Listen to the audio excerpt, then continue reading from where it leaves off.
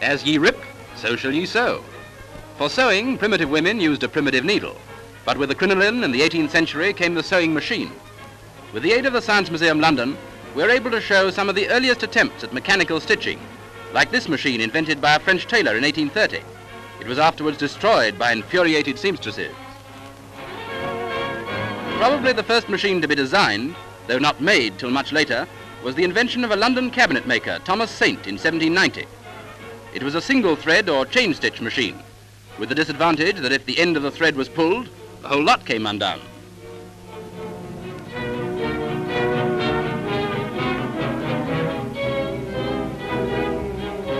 With the lock stitch, the threads cross in the middle of the thickness of the material and are held firm.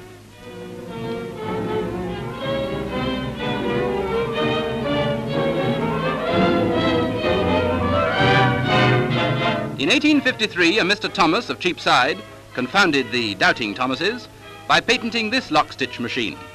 The shuttle bobbins were filled by an independent winder, and for sewing leather, it was the biggest thing so far. 1854 saw the first really practical lock stitch machine. It's still in working order today, though it does get the stitch sometimes. In 1861 came the device for moving the material after each stitch, but it wasn't very good for the material. A portable lock stitch machine appeared in 1885. Though small, it did fine work. Nowadays, of course, you simply switch before you stitch. And isn't it strange that when girls wore all this, every stitch was done by hand, and what a labor of love.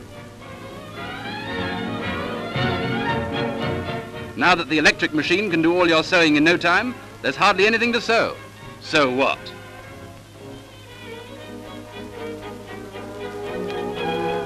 So what better than